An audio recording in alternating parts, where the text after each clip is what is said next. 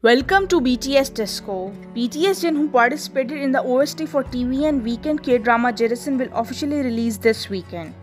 According to TVN, the OST Yours will be released at 6 pm KST on November 7 through various music platforms.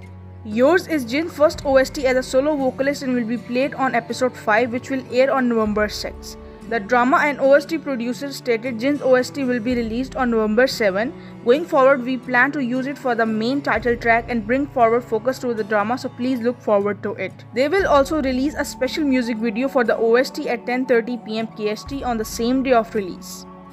Park Jimin and BTS can now be seen in the credits of Marvel new movie Eternals which came out on theaters today. Park Jimin became the first Korean individual idol to be in the credits of global film released by Marvel Studio and across the Walt Disney Company. Who have watched the movie shared that Friends was played for almost 1 minute and 30 seconds. K-pop idol group BTS Life Goes On music video has surpassed 400 million views on YouTube as November 3 at 11:16 am KST. This now makes it the group's 15th video to exceed 400 million views. Life Goes On is a track that continues a message of consolation that says that no matter what happens, life goes on.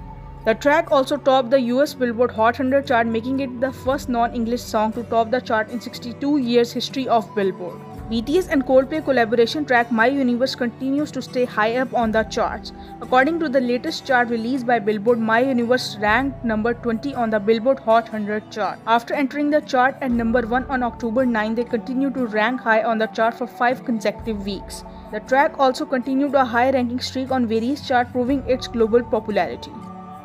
Thank you so very much for watching this video.